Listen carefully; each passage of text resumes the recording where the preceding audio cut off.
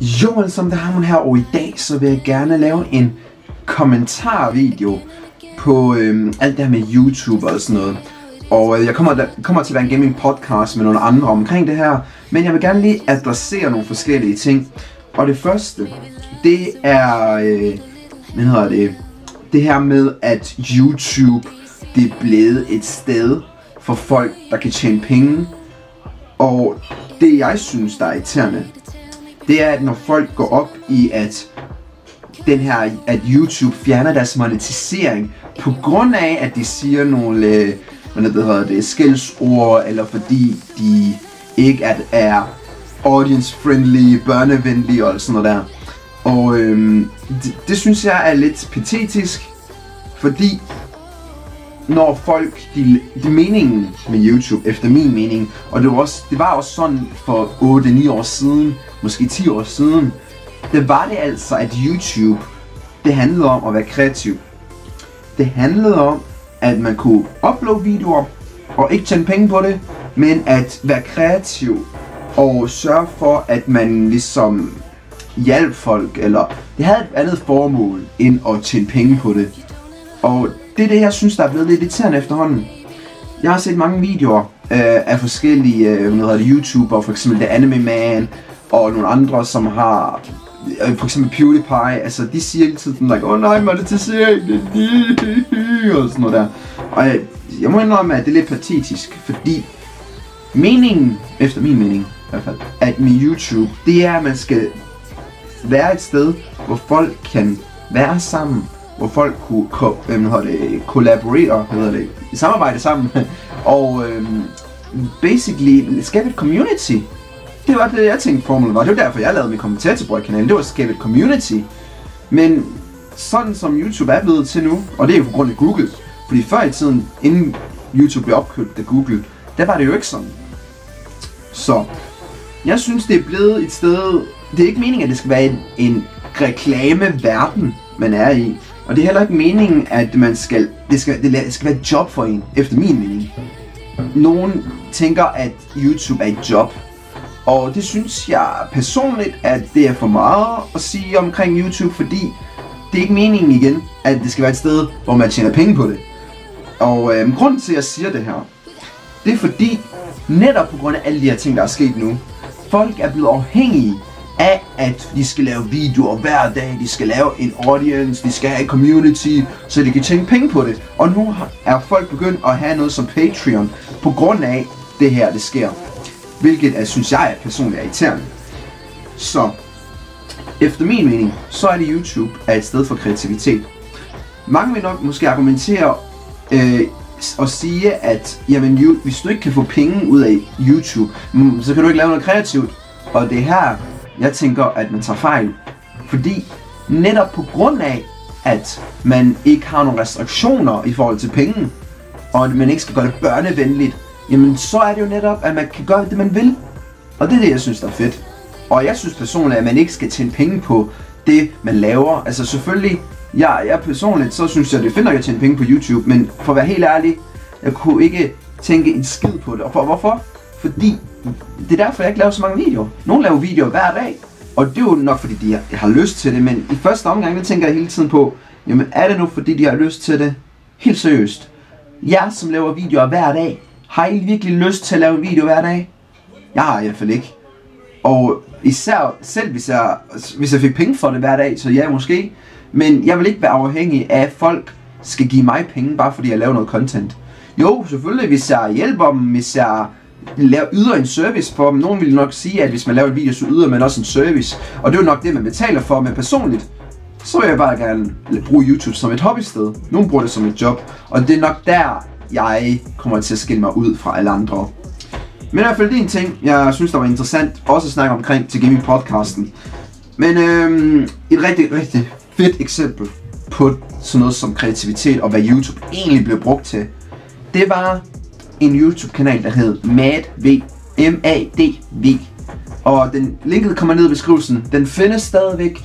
Og i 2006, der var det, at det kanal, den kanal der, det var den mest video, eller det var den øh, video eller kanal, og kanal, som blev mest lavet af videoresponser med, den gang, hvor der faktisk var et videorespons på de her ting. Og hertil, der var det, det var et mega fedt sted. MadV var en af de kanaler, som skabte et community, som skabte et fællesskab, som gjorde folk mere opmærksom og sørgede for, at folk de ligesom arbejdede, sorry, arbejdede sammen med hinanden. Og det er det, jeg mangler på YouTube nu om dagen. Der er mange, det er ikke det. Men den gang, hvor Matt V, han lavede de her anonymous videoer, den gang han lavede de her collaboration videoer med de her budskaber, der var, det var altså en rigtig, rigtig fed øh, kanal. Og en rigtig god gammel dag, øh, god gammeldags video. Og det er det, jeg synes personligt, det, det handler om. At lave et community, som skabe noget sammen. Og, øh, og jeg synes også, det er underligt, at folk skal blive tvunget til at lave video for sine fans. Selvfølgelig, det kan godt være noget, man kan lide som et job, at lave video for sine fans, for det er jo en service man udøver. Men personligt, så synes jeg ikke, at det er det værd. Og personligt så vil jeg sige, at man skal lave videoer, fordi man har selv lyst til at lave det. De videoer, jeg laver, det er fordi, jeg har lyst til at lave dem. Og det er derfor også, at det, jeg, jeg gerne vil lave det på min egen måde. Og det, jeg tænker på, true collaboration handler om, det er at lave videoer med det, man har lyst til, og med det, man har lyst til. Så, det er de ting. Øhm, der er to videoer, jeg gerne vil linke jer til. Det ene, det er øh, Gaming med Kaspers video omkring, at han har haft nogle problemer, og generelt det her med, at han laver øh, videoanmeldelser øh, af andre YouTubere. Og det, det synes jeg er mega fedt lavet. Det er en måde at kollaborere med for andre folk, og jeg synes det er underligt, at folk ikke ser mere om ham, ser flere af hans videoer, og tænker, jamen det skulle sgu fedt at have sådan noget der. Øhm, en anden video, jeg gerne vil vise det er øh, en, som Tankeskud har lavet, som også kommer længe ned i beskrivelsen til. Han snakker omkring, hvordan Web 2.0 er. Altså, at vores video det bliver mere decentraliseret, ergo at det ikke bliver styret af YouTube. Altså et sted, hvor du kan uploade videoer frit, og du kan stadig også godt betale for videoer, hvis du har lyst til det. Men du kan downloade videoerne, du kan dele videoerne med alle, og øh, i virkeligheden så, hvis nu en af, en af de her netværk, de lukker ned, jamen, så er der videoen stadig op på nettet. Hvis YouTube lukkede ned, men så var der ikke nogen måde at få, få fat i videoerne på. Men det er nogle ting, som Tankeskud laver noget omkring, som der også kommer link ned i beskrivelsen til, som håber vi ser ud. Det er den første ting, jeg vil snakke omkring. Eller jeg har snakket omkring. Det er det her med YouTube. Det næste, jeg vil snakke omkring, det er det her guldtuben, som er blevet lavet. Og øh, jeg vil gerne lige jeg vil gerne lige sige, at det der er blevet lavet på guldtuben, det har været mega fedt. Sidste år, der synes jeg, at det var meget egoistisk lavet. Hvorfor? Fordi jeg synes, dem, som var en del af Splay, det var dem, der vandt. Og det synes jeg var lidt underligt. Så, øh, og ret tilfældigt, at de vandt. Men dem, der har vundet i år, de har virkelig fortjent det. Jeg kan se sådan noget som Alexander Husum, det er at have nogle, lave nogle gode videoer, øh, med det hedder Lakserytteren og øh, den bedste Snapchat, Ulf Holm. Der er sådan meget diversitet. Der er både gamle og unge. Og øh, det bedste, det er også nok, at, øh, at hvad det hedder det, den her Rising Star og øh, hvad det hedder det, øh, hvad det hedder, årets sang og virale hit og alle de andre videoer. Og den bedste, det er helt klart, det er Siska Øvlevelsen. Fordi det var årets budskab, og det var mega fedt lavet.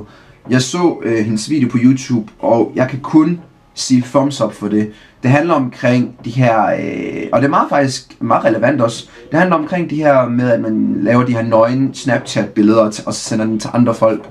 Og det synes jeg er mega fedt lavet. Der er, nogle andre, der er også andre populære YouTubere, som har lavet de her øh, nøgenbilleders videoagtige ting. Og, øh, men, jeg synes, men jeg synes, hende her Siska, hun har lavet det virkelig fedt. Øh, og jeg kan kun sige, at det som YouTube, eller hvad hedder det, Guldtube har lavet i år, det har været meget, meget bedre siden sidste år. Og jeg er glad for, at de har haft en chance for at blive vist nu. Og det er sådan noget der, jeg gerne vil se noget mere af. Der, jeg, jeg kan godt være uenig om nogle ting, for eksempel sådan noget som Årets Gamer. Det er sådan lidt, det, han, altså, han har jo kun lavet, øh, hvad det, FIFA-videoer, det er sådan lidt, ja, okay, FIFA-videoer, hey. Altså, jeg synes, der mangler noget diversitet.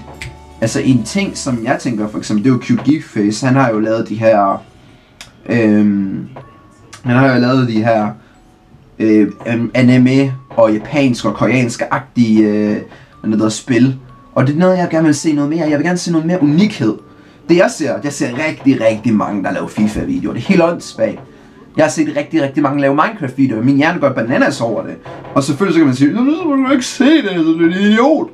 Altså, men man mangler noget unikhed her. Og det er det, jeg synes, vi mangler at fremhæve. Øhm, og det synes jeg, men uanset hvad, så er jeg glad for, at de fleste af de her kategorier, de har vundet til de rette personer. Og øhm, jeg håber virkelig, at næste år, så vil de blive bedre. Og jeg, vil, jeg regner med at måske lave igennem en podcast med det her, omkring guldtuben og med det her med YouTube og sådan noget her. Så det er sådan det, jeg har nogle af tanker. Øhm, så derfor så vil jeg sige, hvis I har nogle kommentarer, så læg det ned i kommentarsektionen, eller lav en videorespons. Fordi jeg vil gerne snakke med mere, flere folk omkring det her, fordi jeg synes, vi mangler noget mere collaboration med hinanden. Så tak for det at sætte med, og vi ses til næste gang. Peace! Together together, top, top, top, er det, at vi løfter hinanden op. It's YouTube community. community. Cool. You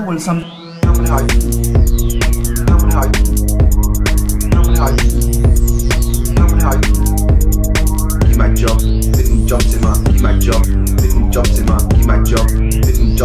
in my, in my, in my. Peace, peace, peace.